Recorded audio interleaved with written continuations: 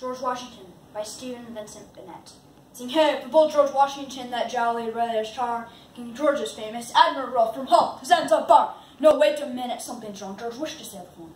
But when his mother thought to gasp, Georgie shinning up, a master tears and protest flows up as the George remained at home. Sing ho for brave George Washington, this day of Virginia Squire, who farms his field and hunts his hounds and aims at nothing higher. Stop, stop, stop! It's going wrong again.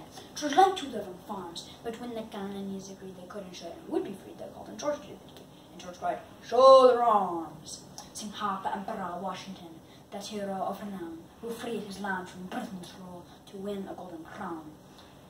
No, no, no, this what George might have won, but didn't, for he said, There's not much point about a king. They're pretty, but they're up to sting.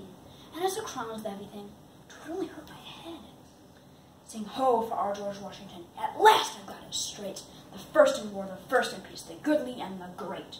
But when you think about him now, from here to Valley Forge, remember this, he might have been a highly different specimen. And where on earth would we be then? I'm glad that George was George.